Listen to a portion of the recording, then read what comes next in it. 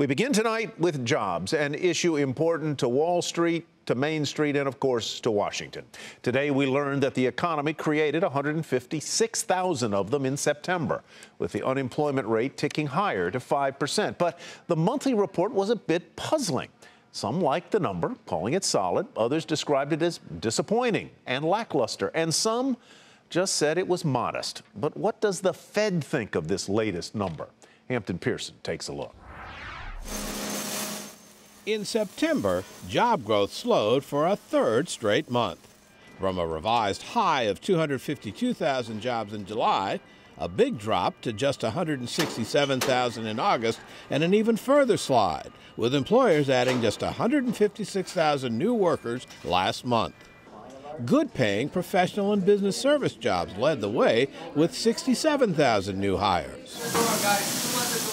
Hourly wages, now just under $26 an hour, are up 2.6% year over year and are showing signs of accelerating.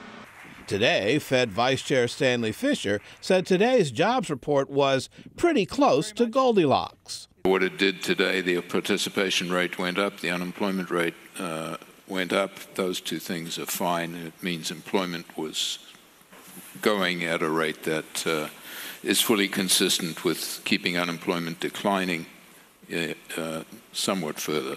More than 440,000 Americans did come back into the job market last month, but only about 95,000 got hired, triggering an uptick in the unemployment rate to 5%.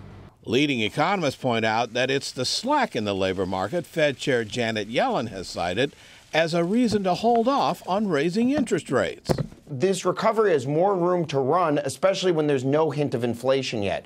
It does not appear today's jobs report has moved the needle as far as the debate inside the Fed on the timing for raising rates.